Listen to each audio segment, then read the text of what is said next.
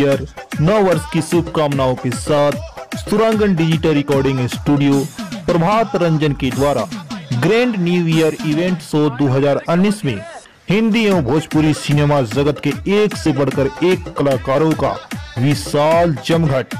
31 दिसंबर 2018 शाम पाँच बजे स्थान डुमरिया स्टेट हरिनगर पश्चिमी चंपारण बिहार में आप सभी श्रोताओं का हार्दिक हार्दिक स्वागत है।